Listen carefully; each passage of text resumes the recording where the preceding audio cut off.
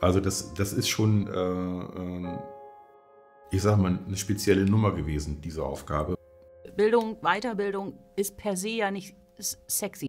Das Land Schleswig-Holstein hat erkannt, dass es eine Menge für die Weiterbildung in Schleswig-Holstein tun kann. Also normalerweise hast du in einer Story deinen Helden, dann hast du den Anti-Helden, ähm, hast eine Aufgabe und am Ende wird das alles prima gelöst. Und hier waren es aber drei. Und die mussten natürlich alle geimpft werden, also die müssten alle einen eigenen, eigenen äh, Slang kriegen, eigene, eigene Sprache. Forsches Auftreten bei Andragon, ähm, ah, so ein Fähnchen im Wind, mehr so bei Seroton und Detox geht sowieso seinen eigenen Stil. Wir wollten etwas auf die Beine stellen, was es vorher noch nicht gab. Es geht um Lernbegleiterinnen.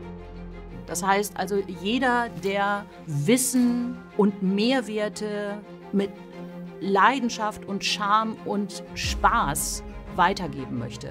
Im Gegensatz zum Digital Trainer 1, wo es primär um digitale Tools und Grundlagen ging, lag der Fokus in diesem Kurs nun auf der Vermittlung eines digitalen Mindsets.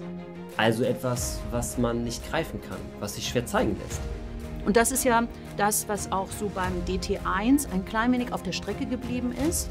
Werkzeug ja, aber ohne den Blick, wo ist mein Kunde, wen muss ich abholen und ohne den Blick nach innen, wer bin ich überhaupt und was traue ich mir zu. Also es war ja mehr als Feinschliff.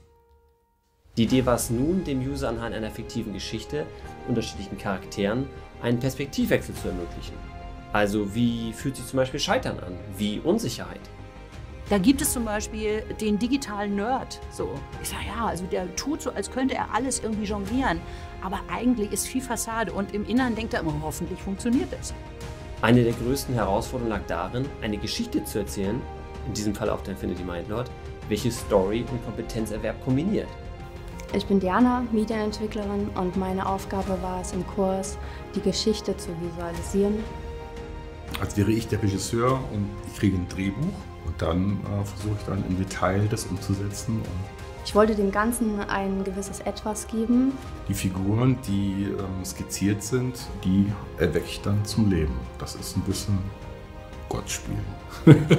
ich habe mich auch in meiner Funktion als Trainerin und Trainer dort gesehen und ich war völlig überfordert. Ich habe mir nie zum Beispiel die Frage gestellt, was passt zu mir. Und dieses Innehalten, was gibt es eigentlich für unterschiedliche Typen, wer braucht was und ganz, ganz wichtig, was braucht meine Zielgruppe? Das haben wir in den DT2 gepackt.